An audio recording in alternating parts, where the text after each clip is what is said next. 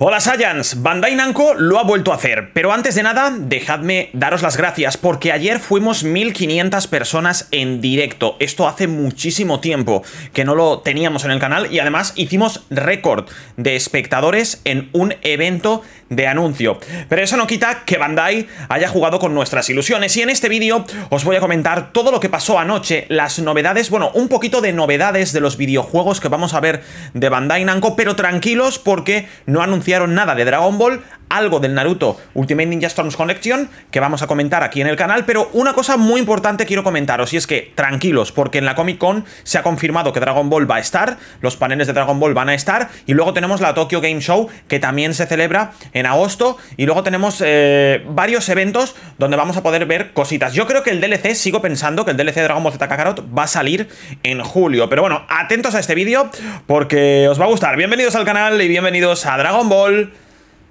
bueno, a, Dragon Ball, no, al Anime Expo, a la baiteada de Bandai Namco.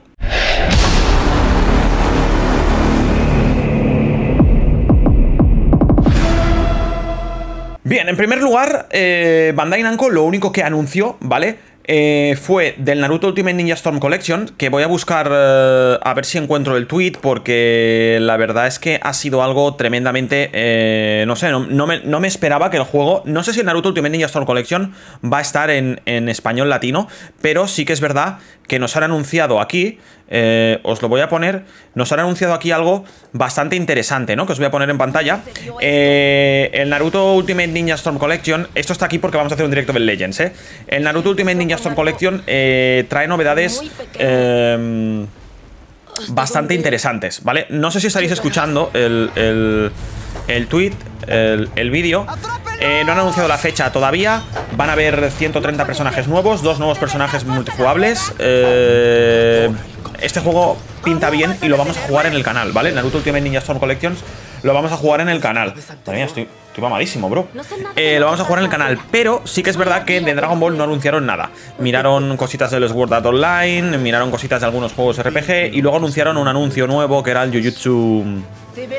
Kaiden creo que se llamaba que, bueno, que no está mal Y hablamos también del Salland, del videojuego del creador eh, Akira Toriyama Que, que es el, padre de Dragon Ball y demás Y eso es lo único que vimos eh, básicamente en... Em, en el evento. Eso no quita que fuésemos más de... Es que es impresionante decirlo.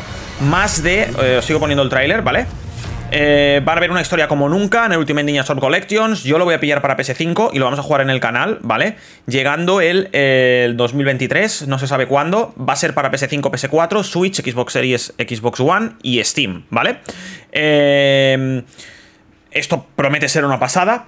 Y eh, lo que os comentaba, no hubo anuncio de Dragon Ball, pero rompimos récord en directo, 1500 personas, algo tremendamente espectacular y que quiero daros las gracias a todo el mundo que me sigue y que me apoya, porque es increíble volver a tener estas cifras en el canal y volver a, tener esa ilusión, ¿no? Eh, tranquilos porque van a haber más anuncios y vamos a ver cositas de Dragon Ball en julio, en agosto y en septiembre, de eso estoy completamente seguro. Yo creo que el DLC del Kakarot debe de salir en julio, ¿vale? Eh, como muy, muy, muy tarde en agosto. Y nada, hemos sufrido un poquito de baiteada, pero bueno, Bandai lo suele hacer casi siempre, no sé por qué esto no lo aprendemos, Bandai suele hacer siempre lo mismo y es anunciar un evento donde van a ir y no traer la bomba, que es Dragon Ball. ¿Dónde van a soltar la bomba? Pues a lo mejor en otro sitio, en la Comic Con, en la Comic Con podría ser, eh, en la Tokyo Game Show podría ser, eh, pero algo vamos a ver del Dragon Ball Z Budokai Tenkaichi seguro muy pronto, si se llama el 4, si recibe otro nombre, si es un remake, sobre los DLCs del Kakarot también, porque tengo muchas ganas de jugarlos, y atentos porque estamos haciendo directos de Dragon Ball Legends aquí en el canal, estamos empezando directeando Dragon Ball Legends porque es la forma más épica de poder jugar y hacer algún vídeo para el canal, pero yo creo que el Legends, jugarlo en directo y con vosotros es más interactivo, y vamos a hacer un directo de, eh, ahora sí sí, vamos a hacer un directo de eh, Dragon Ball The Breakers, mi primera partida, así que os animo a todos a que estéis, a que le deis al botón de like. ¿Os ha gustado el evento? Seguiré subiendo eventos de este tipo porque veo que os ha gustado. Y nada, Saiyans, nos vemos en un nuevo vídeo como siempre aquí en el canal. Os quiero mucho, gracias por el apoyo y hasta la próxima. ¡Chao!